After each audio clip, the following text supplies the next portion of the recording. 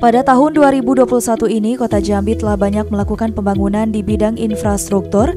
Pembangunan di Kota Jambi tentunya juga tidak terlepas dari sorotan DPRD Kota Jambi yang berperan sebagai pengawasan agar pembangunan dapat berjalan lancar. Komisi 3 DPRD Kota Jambi yang membidangi soal pembangunan terus melakukan evaluasi terhadap hal tersebut. Dikatakan Junedi Singarimbun, anggota Komisi 3 DPRD Kota Jambi, bahwa pembangunan di Kota Jambi saat ini dinilai masif dan juga sudah terlihat baik, di mana Pemkot Jambi juga terus berupaya melakukan peningkatan kualitas di bidang pembangunan. Politik Partai PDI Perjuangan ini juga mengatakan pembangunan yang terus dilakukan Pemkot Jambi secara bertahap saat ini di bidang cipta karya seperti pembangunan dan renovasi drainase di sepanjang jalan kota Jambi. Pembangunan ini juga sudah signifikan dirasakan oleh masyarakat yang bertujuan mencegah terjadinya banjir di kota Jambi.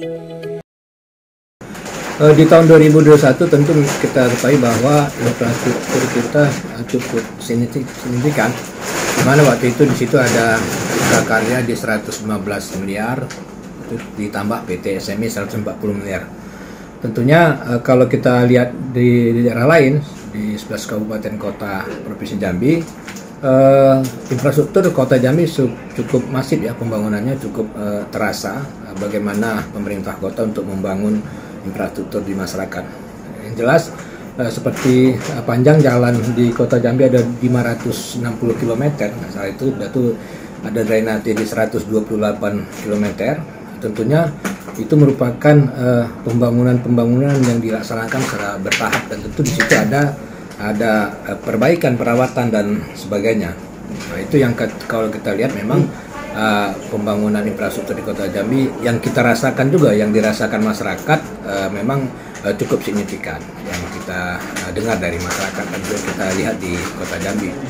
Uh, ditambah kemarin ada pembangunan uh, dana dari SNI ada 140 miliar untuk pembangunan uh, beberapa uh, tahapan pembangunan tentu juga langsung dirasakan oleh masyarakat nanti di di tahun di, di bulan 12 nanti semua pembangunan selesai termasuk juga terminal termasuk juga dalam pedestrian dan lain-lain tentunya nanti di 2022 tentunya langsung bisa dirasakan masyarakat apa yang telah dikucurkan dari PTSN.